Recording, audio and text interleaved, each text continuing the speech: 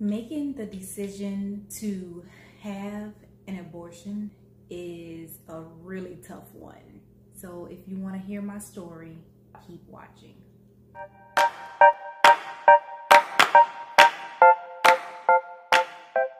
Hey y'all, welcome back to the channel, Dr. Kelly Cavitt. On this channel, as I've explained previously, I am bringing awareness to mental health as well as having overall life discussions. If you haven't seen my previous video, I'll post it here. Please watch that part first. Well, you get a little bit more in depth of my story dealing with postpartum and antepartum depression. So today, I have my husband here again with me. Um, it's really important and necessary that he's here to kind of discuss the second part of my postpartum depression as well as abortion story. To kind of give you, uh, for those of you that haven't seen it, um, I did suffer through antepartum depression, in which, like I said, I discussed in the first video. Antepartum depression is depression while or during pregnancy. Um, unlike postpartum depression, it happens after pregnancy, after you've delivered.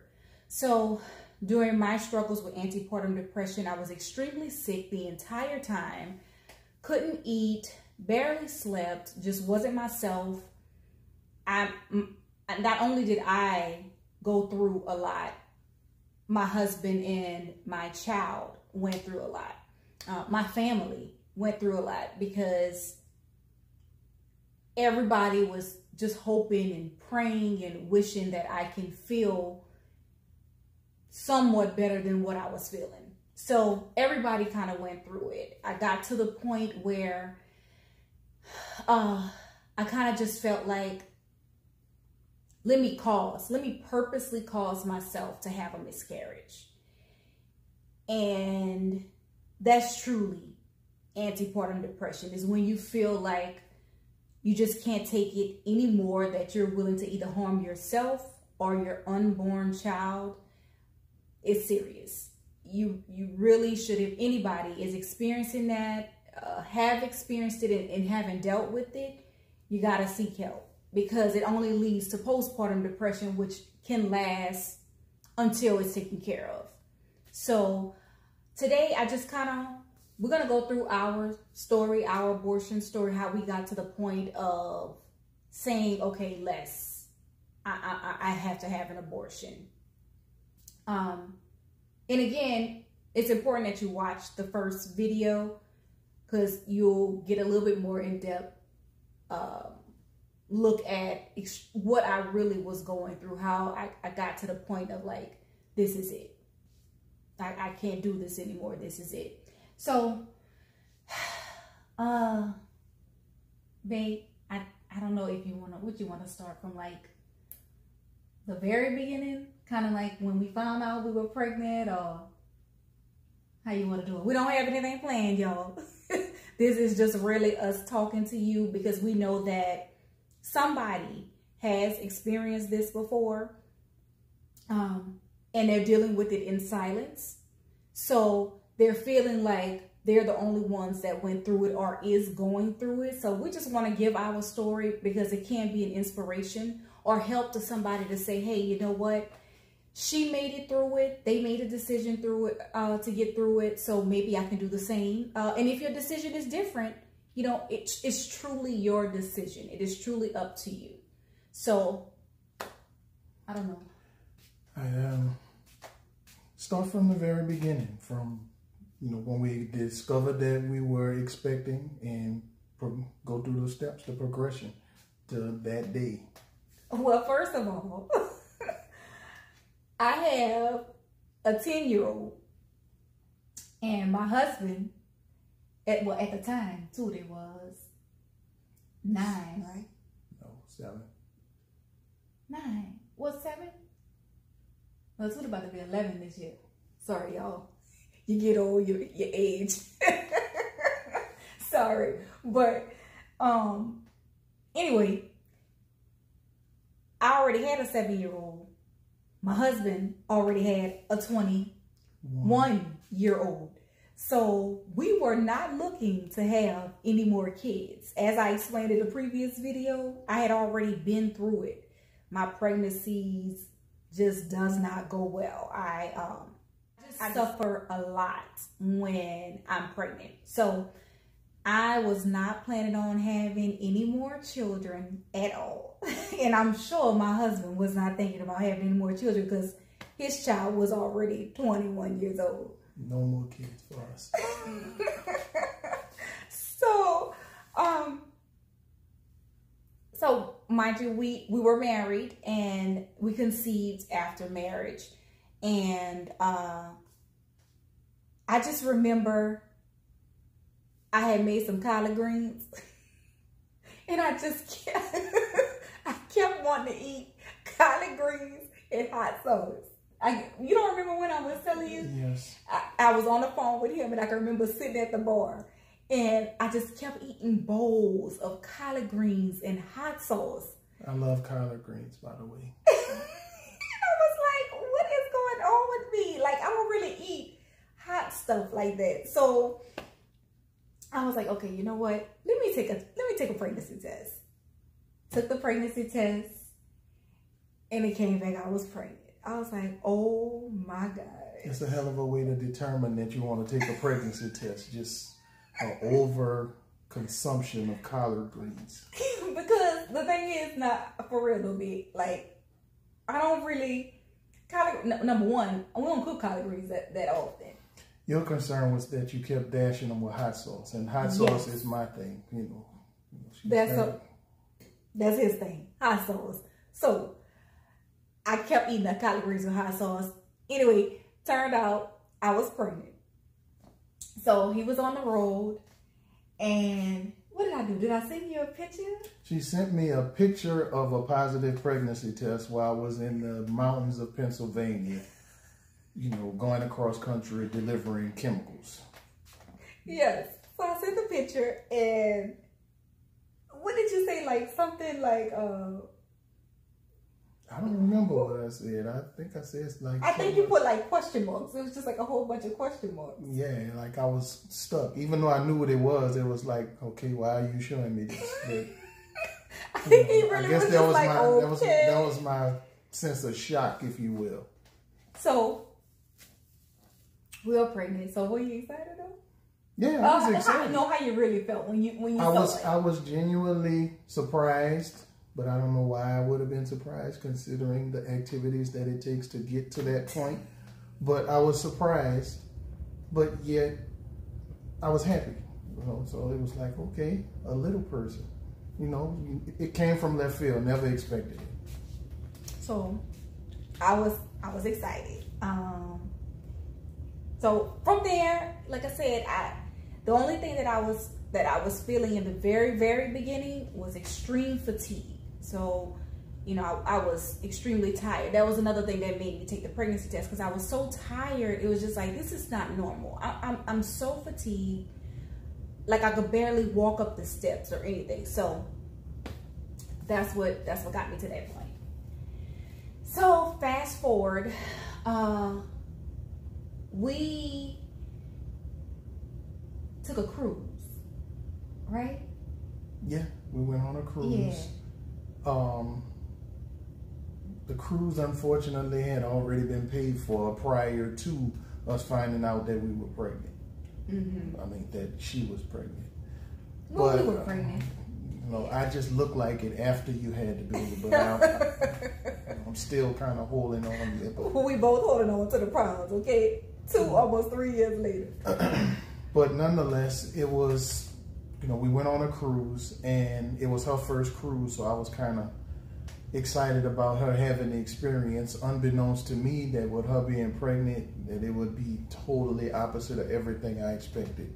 Everything that she had to force herself to have a good time, you know, just to not be locked up in a room. But if she would have had her way, she would have probably stayed in the room just resting and eating every once in a while the entire cruise. But she tried to make the best of it. But between an acute sense of smell and I motion sickness, and and it was just too much. I can still smell.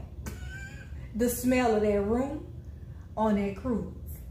Yeah, needless to say, I have to do a do-over with a cruise because she's of being pregnant on her first cruise. So it wasn't a good thing for her. So, you know, and from there, in my opinion, from the cruise forward into the pregnancy, everything just kind of went down. Went downhill. Things got progressively worse with morning. It wasn't even morning sickness didn't last long. It was just the constant nausea all the time. Not knowing what to eat. Whatever she did eat made her feel bad.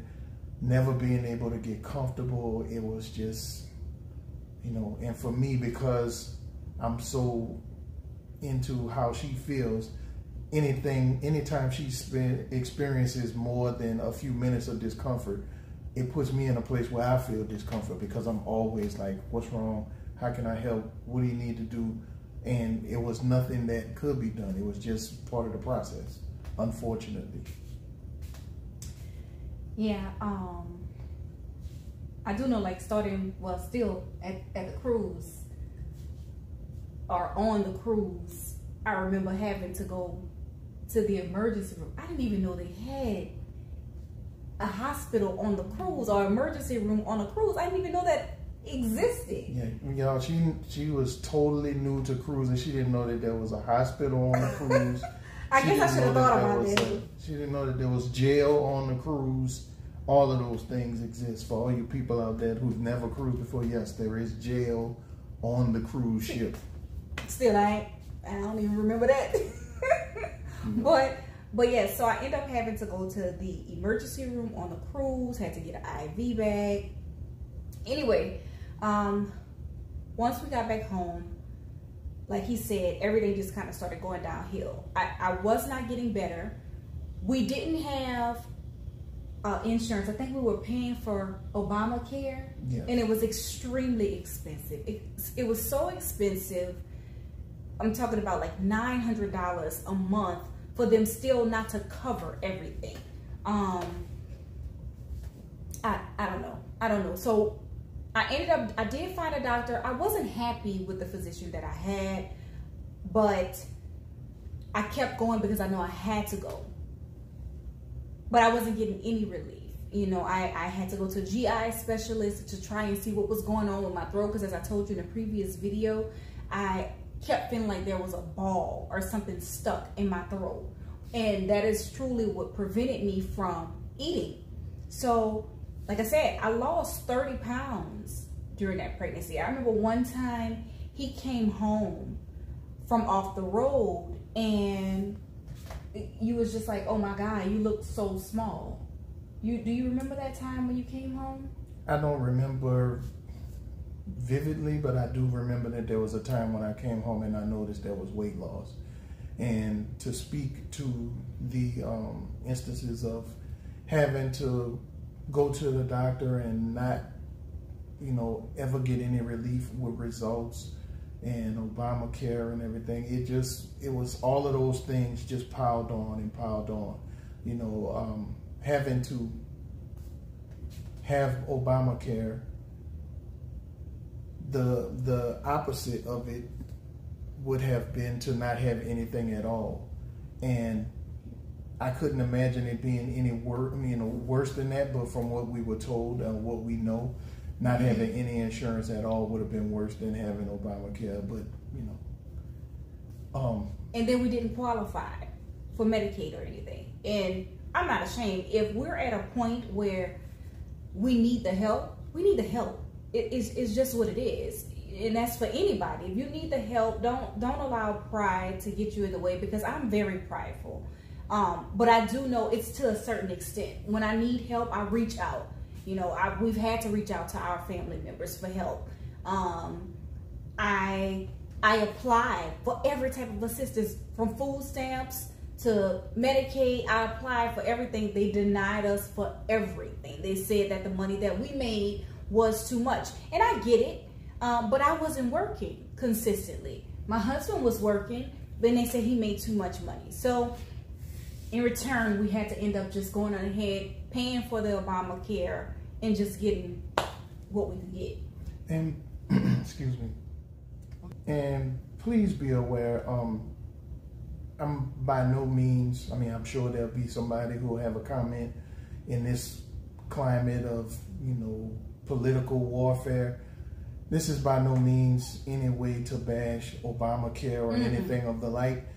It's just giving an uh, insight to that being one of the key proponents, along with other things, to where we traveled down this, you know, somewhat dark road, and it was a very difficult time.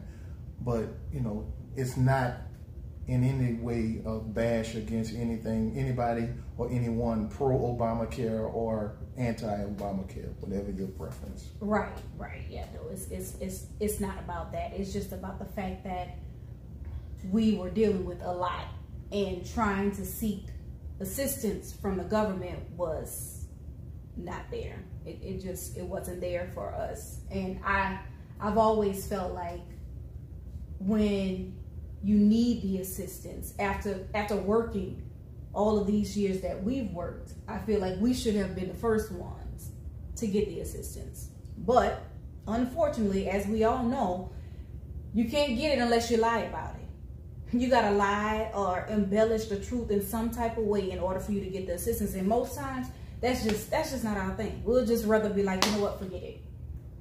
Yeah, it's kind of hard for me to sleep, you know, with that kind of thing going on. But you know, that's not the case for a lot of other people, obviously. But that's another video for another day. Right, right, right. you know, but on to the medical aspect of this and how it progressed into mental setbacks and you know, pain and anguish. So, um, what, what, what was the last thing I was saying? After the cruise. Oh yeah, so after the cruise. um, so again, like I said, it just started getting worse for me. I, I, I just wasn't getting any relief. I felt terrible.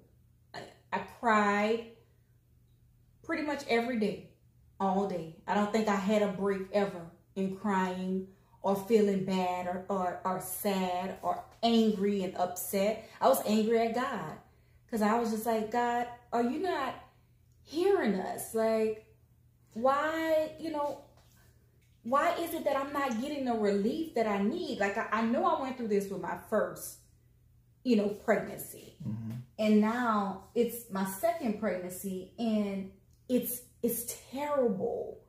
It's worse than my first pregnancy. And, and, and it just, you know, I was I was angry. I, I can't even lie. I was angry with God. I was questioning, you know, why, why why we're not getting relief, why we're not be, we're not financially able to have everything that we need to maybe get me to a better doctor. You know, and we were already paying eight, to, I think seven to eight hundred dollars for the Obamacare a month. So it was just like, yeah, and then you combine that with the fact that my profession as a independent owner operator on the road, my profession had me to where I, at that time, I would spend two weeks consecutively on the road, you know, away from home. So she had to endure all of this while I was on the road, but that was my means of making money because she couldn't work. So when you put all of that together, it was a very, very tough time for us. So I oftentimes would feel bad, you know, through conversation and knowing that she was in pain and there was nothing I can do other than mm-hmm. try to do what I needed to do in order to keep the lights on, the roof over our head, and just the stuff that I'm supposed to do in that situation. But, you know, all of these things were key components to what led to a very dark place initially. You know, we eventually got through it, but these are things that were just progressively getting worse. Right. Do you feel like do, do you feel like you were depressed a little bit? Uh during this time? Yeah. Because I, I said in the previous video that I felt like you were depressed. Like I can I can see it because of the fact that you weren't able to help me or to help the situation outside of all that you know all that you were already doing. So I kind of felt in the last video, I kind of just felt like you may have been depressed as well. I was definitely a bit depressed because, you know, the the repetition of my job, being on the road and traveling across the country, going state to state, you know, I couldn't get any joy out of it outside of knowing that I was providing financially for my family. Was doing the best I could because even that was a struggle at times. So yes, I was depressed because I wasn't able to help you. There was nothing else that I could do outside of prayer and just contributing as best I can. There was nothing that I could, no one thing that I could do to stop the pain or the discomfort immediately. So that was depressing for me because I'm a hands-on type of whatever it is that's wrong, let's let's try to fix it. You know, well, a lot of men are. I don't want to make it seem like I'm unique. Well, you are unique, babe. Thank you. but um, so yeah, so to get kind of back on track, the months are passing by. Um, now at a place where either I need to make I need to make a decision before it's too late when I you know to the point where I can't make a decision of if I'm going to have an abortion or not. So with me feeling the way that I was feeling, um, I, I just said, you know what? I had already went through the bout of trying to purposely cause myself to have a miscarriage by making myself fall down the stairs. And now I'm at this place where I'm not getting any relief. So I just had enough. And the, all the, the, the purposeful attempts at trying to have a miscarriage was unbeknownst to me. So I know that she was in a dark place because it's not like you call up your significant other and say, hey, by the way, I tried to have a miscarriage. I tried to hurt myself today. So, you know, that was unbeknownst to me all the way up until probably after, no, probably right before the actual plan to go through with an official abortion. Right. So I, um, you know, I called. I called. Uh, I booked an appointment, and and I think before I made the official appointment, I believe we had discussed it back and forth, probably for about a week or so and I was serious. I was like, I know, you know, that's not what you want. My family are trying, you know, they were trying to encourage me and be like, Kel, you know, let's, you know, let's pray about it. You know, try to, let's try to see if you can do different things. Like I told y'all in the previous video, my aunts, my mom, uh, my Sonia has sent me a whole bunch of candy to try, anything to try to help me out, to try to get me through this. Nothing was working. So I was just tired. I, I, I was tired. And as I stated, um, it was a selfish thought because I was thinking about me and how I felt in the moment. I wasn't thinking about anybody else, not not you, not the unborn child, uh, not my child, not my family. I was thinking about me and just being able to get some relief mentally as well as physically. So I I uh, I told him and I decided that hey, I'm I, I scheduled the appointment and we had the appointment scheduled. Um, and and we went. We we drove in the direction. We drove. We drove there here uh, uh, in Houston. We we drove to the appointment. Uh, but before that, I can honestly say that um, I had my mom, I had my aunt, to call me and just try to give me some encouragement so that I wouldn't go through with it. Because I did let them know that I was going to go ahead on and, and, have an abortion. You know, it, it wasn't like I wasn't trying to keep it a secret from anybody per se. You know, uh, just, you know, my small immediate family knew.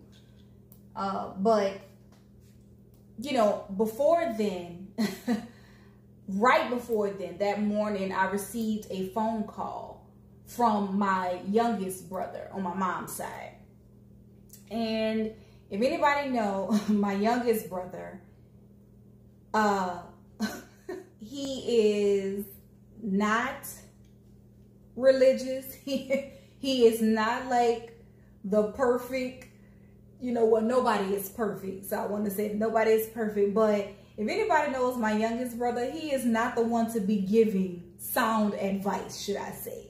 But he called me that morning right before we were getting ready to leave and I hadn't talked to him in a minute and he was just like, uh, hey Kel, I just I was calling you and you know, my mom and them told me that you were thinking about having an abortion. And I told them, yes, I, you know, I didn't feel well. I needed to have some relief that I was about to go and have an abortion. And so he told me that he prayed for me. And then some of the things, now mind you, I don't remember everything he was saying, but I just know that what he was saying was not him. And I remember telling my husband this, like, I know that that was God speaking through him because he doesn't speak like that. And the things that he was saying, it wasn't my little brother. Put it to you, it just wasn't my little brother. And so, and I felt that. I felt that when, and I had to, I told my husband, and I was just like, the way he was talking, that is not him. That had to be God speaking through him the same morning that we were getting ready to go. So fast forward. You want it? no, I mean we fast forward to the actual day. You know, of course, I'll never forget it, but unbeknownst to her, I had no intention on going through with it. But I felt like I could play on her emotions, for lack of a better word, by driving in a direction and going to the facility because I knew that there would be a demonstration and a protest in front of this particular clinic, as there is in many clinics in large cities. There's always a group of people with signs that's anti-abortion and so on and so forth. So, sure as shooting, we get in the car, we drive down. She's tearful the whole way through, and I'm pretty somber, driving, driving, driving, driving we get down there and just as sure as I'm sitting here, there's about six or seven people as you turn off of the street into the entrance of the establishment to go in to the abortion clinic with signs. And, you know, they weren't rude or rowdy, but they're shouting things as we, you know, try to pull in. But long story short, I never made it into the parking lot before she had a breakdown. I attempted to drive in, but the people were like blocking us and I made the block. And before I could get back to make a second attempt to get in, she was like, no, no, no, we gotta go, we gotta go. And so, and, and I know he probably don't remember, but he's missed a part. So he's right. As we drove up, the people were picketing and they had their signs and I just broke down.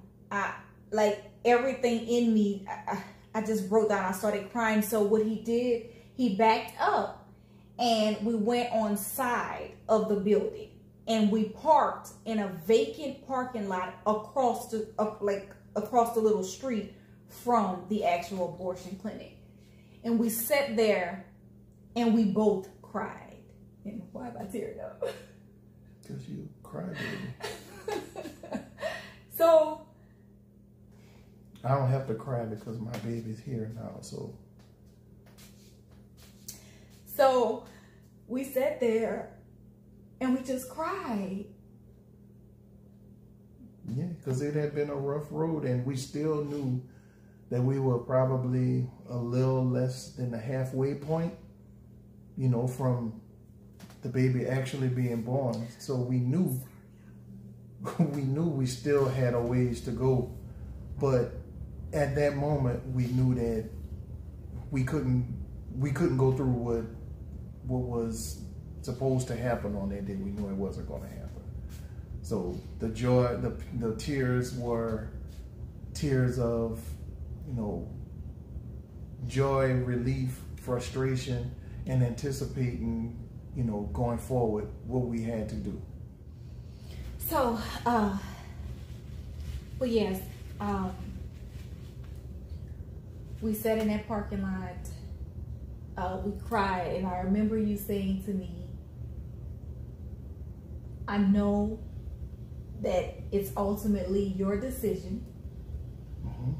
but we can't do this today. And, you know, I, I just said, okay. Because at that point, you know, I, um, excuse me.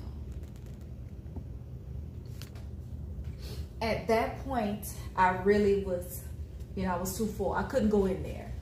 It, it was just too much. It was unbearable. And then I, I, you know, I was thinking about the people picketing, and I was thinking about my brother calling me earlier that morning, and I kept saying, "This has to be God just saying, Kelly, I'm here with you. Keep pushing. You know, y'all are gonna make it through." So I'm so happy that my husband was there because I, I had already made this decision before. I've I've gone through with an abortion before and uh, I didn't want to go through that again. And knowing how sick I was, it was really possible that I was.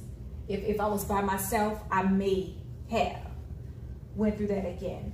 Um, and I, did, I, I, didn't want to do that again. So I, I, I'm very thankful that you were there, that uh, that God was with us, you know, and that you had already, like you said, I didn't even know that he had never even planned for me to go in there anyway. He just was driving me there just to give me some type of, I guess, a sense of gratification to know that I possibly, you know.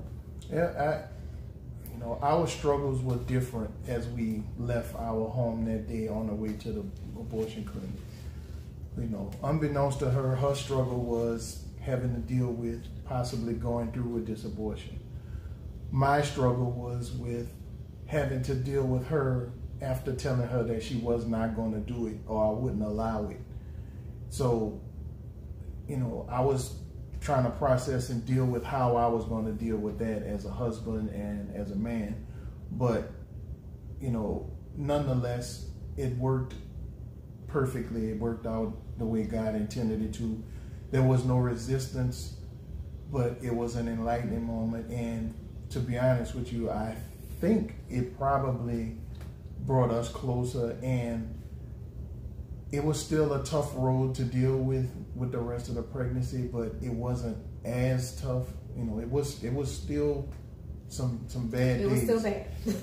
but it wasn't as tough and I think we reflected on that moment later on in the pregnancy as, you know, she was visibly, you know, larger and we had gone through a through a couple of um, doctor's visits. You know, one in which when we did the uh, what do you call it, the X-ray?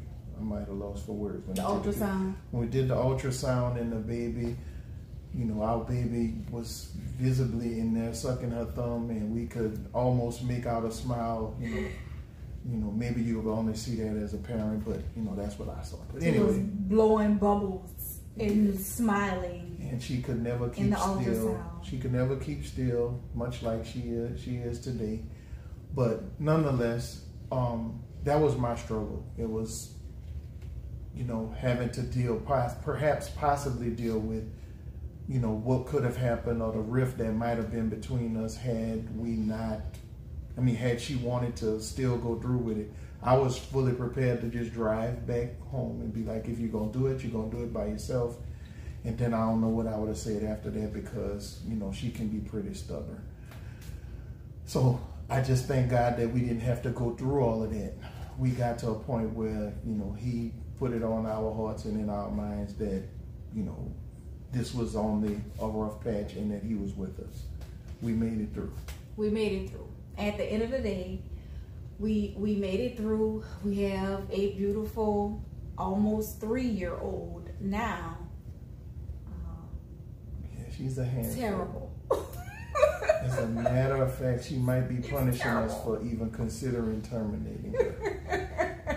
Yeah, I think uh, I think we're getting it back now. I think she she's punishing us a little bit. yeah, I wouldn't have it any other way. And um, if there's anybody watching this video, be it male, female, couples, whatever, uh, like, just know that you know, anything that we've described is not easy. the words cannot prepare you for what possibly you could be in store for. It's far worse. It could be far worse than we're describing. If you are, in fact, a female that just has notorious difficult pregnancies. And that was the case for her. But we made it through. And it was a combination of, you know, God, resilience, patience, strength, and just, you know, unity between the two of us. And if you're experiencing anything like anything we've described or described or said in this video, just know that you know you're not unique. We're not the only ones. There's someone else that has gone through or will go through this, and just know that there's multiple ways to deal with it. And you know, the one thing that you cannot do is deal with it alone. Or um, in silence. Yeah, you have to speak to each other constantly, no matter how uncomfortable the conversations may be or may get. And if at all possible, if you if there are family members between the two of you, either on both sides or one side of the family, if there's a family member who can who is capable of listening and offering wisdom without being judgmental or telling you or imposing their thoughts or their decisions on you, you need to gravitate towards that person because yeah. all family members, you know, although they may mean well, and it's not even just family members, people in general, they will impose what they think you should do or what they would do in your situation. Mm-hmm. And that's not fair to anyone in any situation because everyone is unique and so is their situation and their reaction to it. So, you know, but here we are. Well, he pretty much said it. he pretty much led me out of this video, but uh, that's just pretty much what, what I was going to say to kind of close out. Uh, again, we did not go through with the abortion I, I did still have a lot of complications um, during as well as even after the baby. So, but we made it through. And again, we're only bringing this story out. We're only telling you or talking about this because it's a topic that people shy away from because they're scared that they're going to be ridiculed. They're scared that somebody is going to uh, I think I've had, I had somebody on my previous video that didn't even know the story. They didn't even know how the story ended, but they automatically assumed that we went through with the abortion. And they gave me a whole spill under the comment section of my last video. Not disrespectful, but just trying to get their point across. And one thing I can say is everybody has the freedom of choice. Um, and I believe in the freedom of choice. And I also feel like that everybody has an opinion. Uh, but just know that whatever you decide is for you.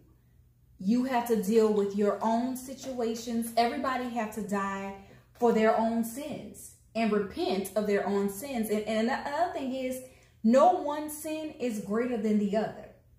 And I think people, even, you know, I have to put myself in check sometimes there is no one sin that's greater than the other. So just because my sin may be that I even contemplated an abortion or had one previously doesn't mean that your sin of sleeping sleeping with somebody before you were married or possibly dying and have hatred in your heart for somebody that had an abortion uh, it doesn't make it any better than me so again don't worry about what people are going to think. Do what is best for you. And we did what we felt what was best for our family, for each other. And uh, and and that's all that matters. That's all that matters. We we cannot tell you one way or other. There's somebody that may be in a position that feels like they have to go forward with that abortion.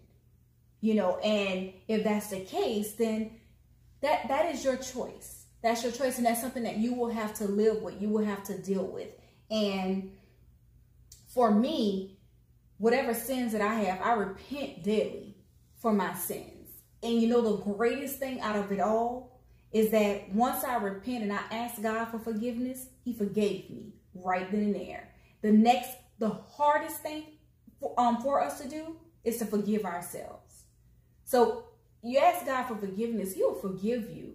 You got to forgive yourself. And a, a, really big thing for me is forgiving myself of the things that I've went through, the decisions that I've made. But I know as far as the abortion is concerned and the abortions that I had previously, um, I forgave myself. I asked for forgiveness. I forgave myself. I'm moving past it. And that's not a path that I'm going to go through or go back down again.